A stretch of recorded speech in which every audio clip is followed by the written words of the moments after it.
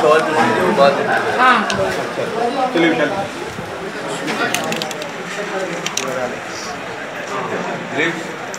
पूछिए लिखने वाले सवाल तब तक लिखने वाले पूछो कैसे अनुभूति राजा साहब? परिक्रमा को लेकर पीछे करना चाहिए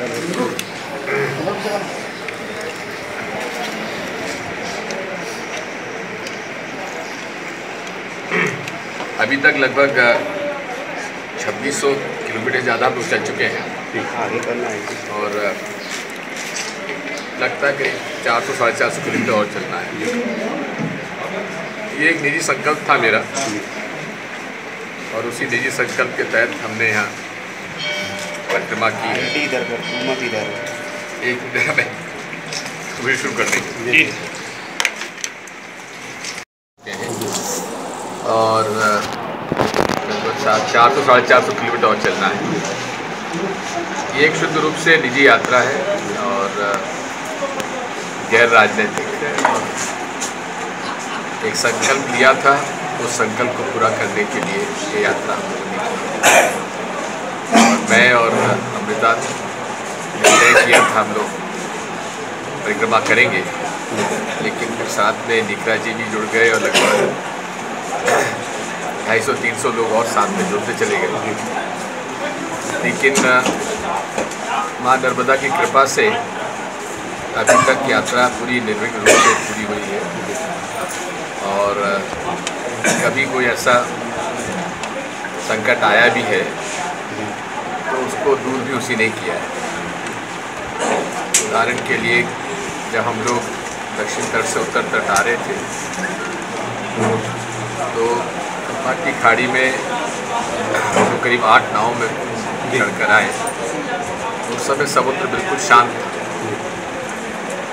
और तीन दिसंबर की शाम को जब हम पहुँच गए, उत्तर तट पे, उसी रात को भयंकर तूफ़ान आया, और अगले पाँच दिन एक नाव नहीं उतर पाई। ऐसी कई घटनाएँ हुई हैं। तो ये माँ की कृपा है, हमारे स्वामी स्वरूपानंद जी महाराज की कृपा है ये आशीर्वाद से हमने ये यहाँ तक निजी अनुभूति का प्रश्न है। हर व्यक्ति को अलग अलग अनुभूति होती है। तो जब भी कोई पत्रकार ये प्रश्न पूछता है तो मैं एक ही बात कहता हूँ कि अनुभूति अगर जानना है तो स्वयं परिक्रमा करो।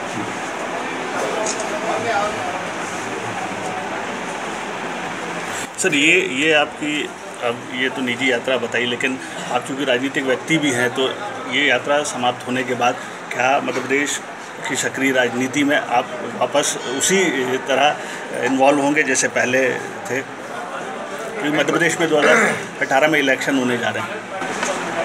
मैं मध्य प्रदेश की राजनीति कम से कम तीस पैंतीस साल मैंने की। अब नए लोगों को मौका मिलना चाहिए। इसलिए सरकार बनाने में तो हम पूरा सहयोग करेंगे। और हमने तय किया है कि जो लोग विधानसभा टिकट नहीं मांग रहे जी। उदाहरण के लिए निकरा जी हैं महेश जोशी हैं हम हैं। हम लोग मध्य प्रदेश का परिक्रमा शुरू करेंगे। जी। और उसमें प्रयास हमारा यही होगा कि ज़मीन पर जो बिखरे हुए लोग हैं उनको समेटें।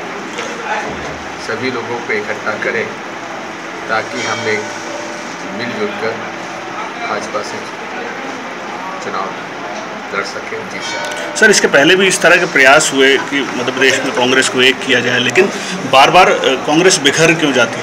मतलब क्या क्या नहीं ऐसा नहीं है बिक्री नहीं है बिक्री और बिखरने की बात भी नहीं है। लेकिन कई लोग ऐसा होता है कुछ लोग शांत बैठ जाते हैं कुछ नाराज़ हो जाते हैं। तो ज़मीनी जो एकता है उसको हम ज़रा और मज़बूत करना चाहते हैं। For more information, log on to www.clips.in.